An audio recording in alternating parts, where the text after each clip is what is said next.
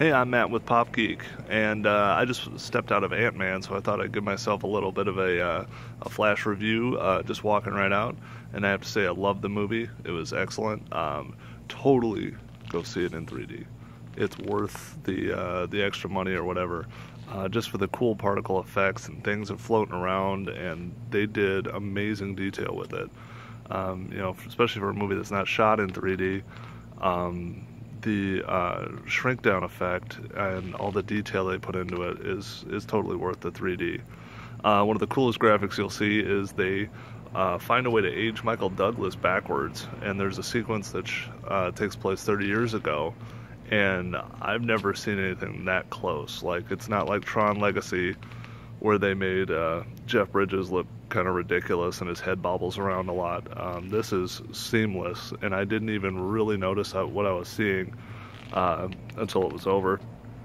Um, as far as plot goes, the plot is good. It's a heist film. It's well, it's a heist film with a superhero bent to it. They are uh, basically planning a big heist to steal something. I'm not going to give away uh, spoiler details or anything like that, but um, it's a really, really different way to do it, and it also doesn't screw around with origin story. Um, there's very little of it. It's um, weaved into the story really well. The only thing they do that is not quite as, as fun is they they really hammer home this idea that uh, Scott, the uh, Paul Rudd's character who takes over as Ant Man, you know, he has a daughter and he just got out of jail so don't screw up your life again. So it's a it's kind of redemptiony, and it parallels um, uh, Michael Douglas's character.